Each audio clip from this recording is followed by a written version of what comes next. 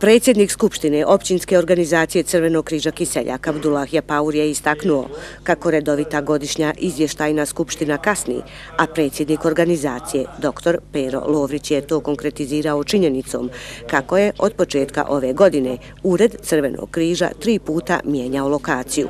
Konačno je nedavno dobio ured u zgradi općine, te tehničkih problema kao što je isključenje struje ne bi više trebalo biti. Ja bih opet napomenuo ono što sam iznio na uradu e, Skupštine Crvenog križa Kiseljak.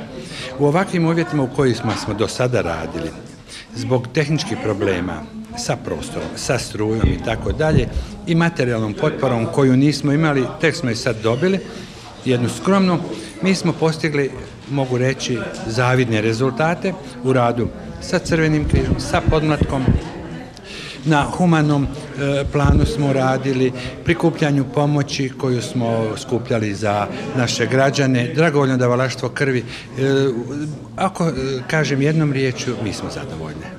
Unatoč svemu tomu, općinska organizacija Crvenog križa Kiseljak uspjela je sačuvati dignitet istinski humanitarne organizacije.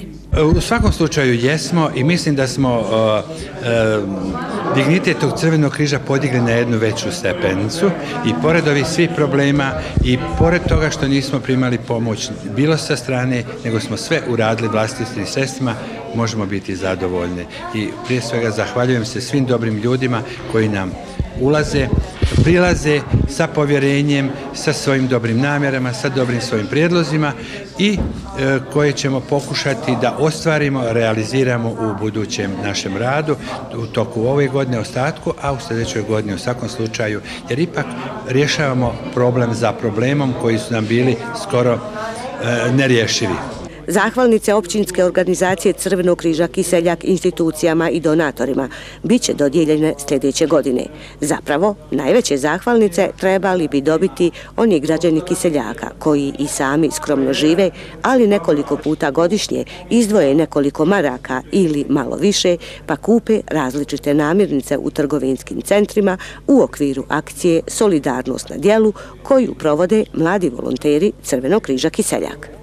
Pa između ostali upravo ste, dakle, građani najvišu zahvalu daju koji doprinose aktivnostima, dakle, i sa tom kilogram brašna i ostalo, jer ta kilogram brašna sigurno dosta domaćinstava pomaže, održe u životu i ostalo. I sigurno, dakle, da zahvalnicu treba svim, ali tu su moram priznati i određeni aktivisti koji maksimalno daju doprinos da i tu kilogram kako uzmu od građana, tako da je uruče i daju onim kojima je ista potreba.